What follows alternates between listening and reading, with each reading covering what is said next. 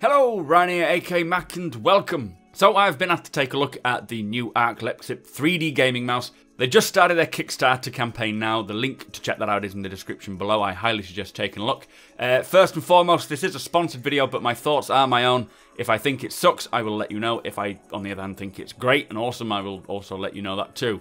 So with that said, what is the Lexip 3D mouse? Basically, it's a gaming mouse with all the usual features that you would expect. We'll talk about these in a sec, but what makes it special is the inclusion of a joystick on the left hand side, plus a tilting control feature. Now the joystick on the side offers similar functionality to a traditional joystick. It's got 30 degrees of tilt in four directions, allowing you to use it for flight or even FPS movements.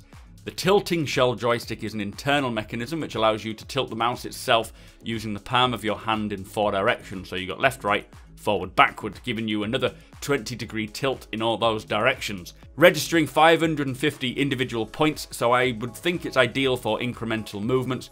Both of these features offering alternate control options when entering 3D environments. Now another point of interest is the ADNS 9800 laser, which is good to 8200 DPI the version I have, I can only get it to 5040 DPI. It could just be that this is the review version, not the live. It says so on the box, so that's good. Uh, a couple of other buttons on the side, like other mice, and the DPI switch button on the top. It's got ceramic feet for reduced friction, a braided USB cable, plus a control panel software to tweak the feel and functionality, including lighting and sensitivity and so on and so forth. Now I'm genuinely excited about this mouse, not just for personal use, but for the Star Citizen community. Hardware is always a topic which is constantly discussed of, you know, what people are using. I think many uh, mouse and keyboard users in Star Citizen will love the extra customizability of this, plus offering perhaps a greater degree of movement while flying, maybe helping strafe while landing down on a planet, or maybe rolling out of a, a missile's way. I use HOTAS, so it doesn't really suit my style of flying, but having the ability for incremental maneuvers using a mouse may help me flying more than I think, maybe with larger ships. Now aesthetically, it looks nice, nothing overly unique. It's very similar to other leading mice on the market. The joystick doesn't really look out of place. Uh, it feels comfortable, quite tactile. My only gripe, however, is my hand may either be too small or my positioning doesn't suit. I'm a really lazy gamer, so my natural mouse resting position is towards the back of the mouse. This means that I cannot actually reach the joystick. I can only nudge it with the tip of my thumb. It also means I don't have the full control of the tilt feature. Now that said, my hands measure about 19 centimeters or 7.5 inches. Uh, so for people with larger hands, I don't see this being a problem. Plus, if I just adjust my hand position, something I could probably try and get used to over time, it would probably work better. Now I noticed that the right and left mouse buttons don't extend all the way so my fingertips can rest on the front allowing me to reach the joystick and have better control of the tilt feature.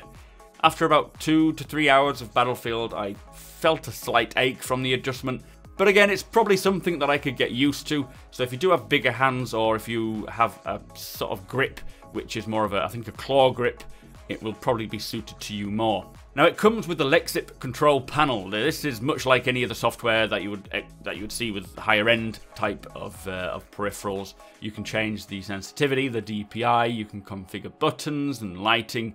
One thing I do like, which is similar to my SteelSeries engine, is the option for programmable profiles. Not just that, but the software actually detects what program you are using on the fly and switches between those profiles. So if you tab out of a game uh, and you start using the internet, the profile follows suit, recognizing that you left the game, and now it, you're using the browser, adjusting all the buttons and the settings you previously set up, which is actually really refreshing and, and useful, so you just automatically know it will do what you expect it to. Now in terms of performance, I've not had long enough to really get to grips fully with the mouse. I feel there's a little smoothing which I am unable to adjust at this time, plus I really want to check out how it works with Star Citizen.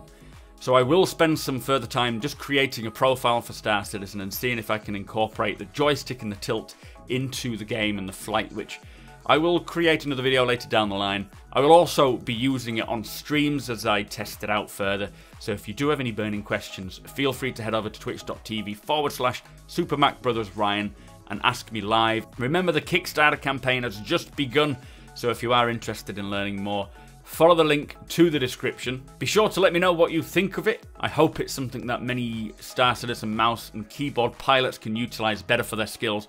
I'm sure if you got used to it, it would be something definitely worth trying out. Uh, thank you to Lexip for letting me take a look.